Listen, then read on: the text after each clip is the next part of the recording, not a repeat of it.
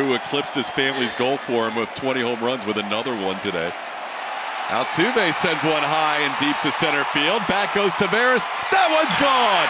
Back to back jacks for the second time today. Dubon and Altuve do it twice. He just silver booted that out of here.